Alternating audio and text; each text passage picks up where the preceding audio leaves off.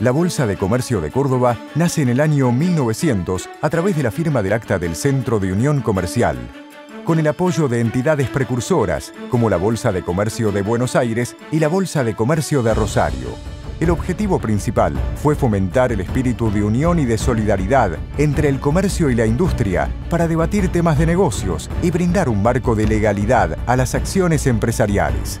Durante estos 120 años, transitaron 17 presidentes, quienes representaron con compromiso y esfuerzo cada una de sus gestiones en la Bolsa de Comercio de Córdoba.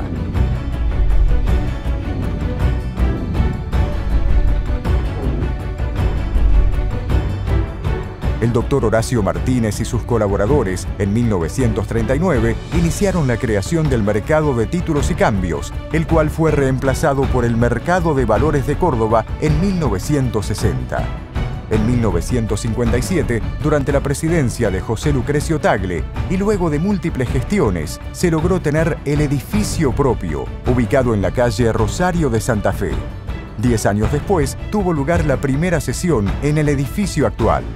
Año a año, gestionamos ante los poderes públicos la búsqueda de soluciones equitativas a problemas que afectan a la vida comercial, industrial y en general a la comunidad.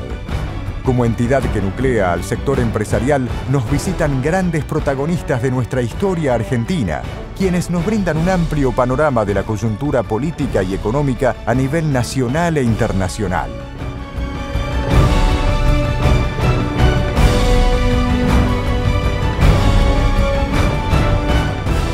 Bolsa de Comercio de Córdoba, 120 años.